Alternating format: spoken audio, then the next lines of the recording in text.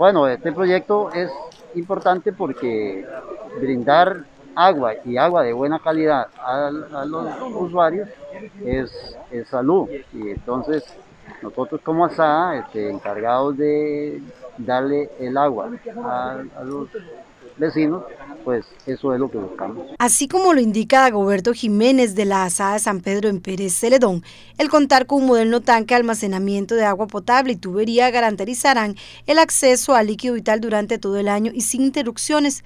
El proyecto ejecutado con recursos del Instituto de Desarrollo Rural consistió en la construcción de un tanque de almacenamiento y 1.8 kilómetros de tubería, para lo cual se requirió de una inversión de 257 millones de colones. Antes de contar con este proyecto, las tomas de agua estaban a cielo abierto. Cuando llovía se tenía que sacar de operación el sistema y las personas se quedaban sin el líquido entre 12 y 16 horas.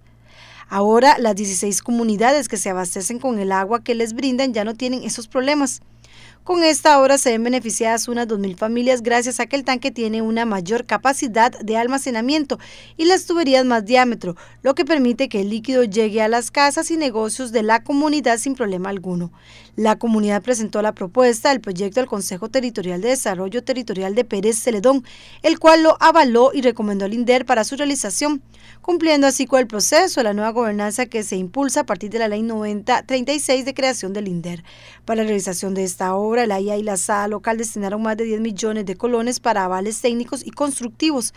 El tanque cuenta con 500 metros cúbicos, es decir, podrá almacenar medio millón de litros de agua, lo que resuelve el problema de capacidad hidráulica del sistema de agua potable. Bueno, esto empezó este, como una idea, como todo proyecto inicia, que eh, en una reunión este, se tiene una idea y empieza uno a buscar alternativas donde puede eh, buscar financiamiento y y ya se hablaba de los consejos territoriales en ese entonces y entonces eh, de una vez pensamos, bueno, ahí recurramos al consejo territorial a ver si logramos que ellos nos financien un proyecto.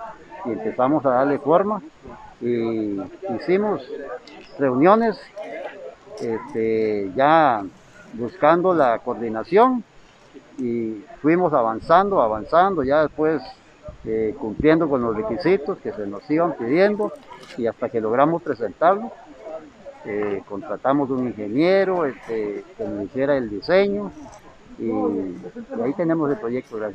El acueducto de la comunidad tiene 38 años de estar en uso cuando apenas contaba con 200 usuarios, además de verse perjudicado por las tormentas y lluvias fuertes que han afectado a través de los años. Además de San Pedro de Pérez de León, también se ven beneficiados sectores como San Rafael, Santo Domingo, Barrio Los Ángeles, Asentamiento El Marañón, Renacer y otros.